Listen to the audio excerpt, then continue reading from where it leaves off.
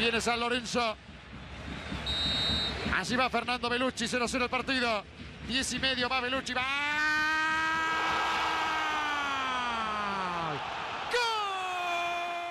El Deportivo La Guaira tenía una dura visita a la cancha de San Lorenzo de Almagro y sacó un resultado que lo deja con vida de cara al partido de vuelta en casa en Cabudare.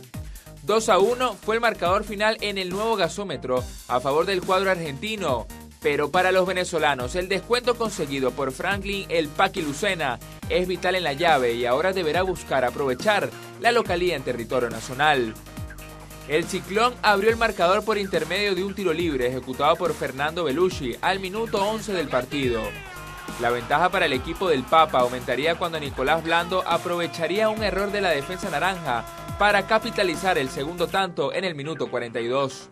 El director técnico del conjunto venezolano, Eduardo Zaragó, reordenaba sus piezas en el terreno de juego y al minuto 52, luego de un centro al área, el capitán Franklin Lucena aparecía con un extraño cabezazo doble para mandar sin problemas el balón al fondo de la red.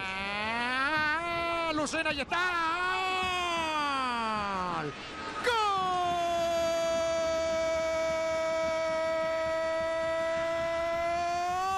de la Guaira. Lamentablemente nos vamos con un resultado cortado. El primer tiempo había sido bueno. Ya por momentos retrocedimos demasiado. El segundo tiempo el factor del viento, si bien no hay, que meter excusa, complicó mucho la manera en la que estábamos jugando. Le favoreció a ellos también en alguna pelota quieta, alguna contra. Pero bueno, lo importante es que ganamos. Ahora hay que, ir a mantener el resultado allá y poder también compartir. Sí, un partido en el primer tiempo ellos llegaron muy poco, no concretaron.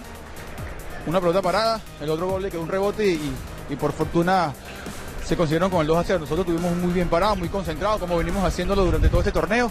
Y bueno, con mucha humildad y mucho temperamento, compromiso de cada uno de mis compañeros dentro del campo, pudimos irnos con un resultado que, que para nosotros es muy importante.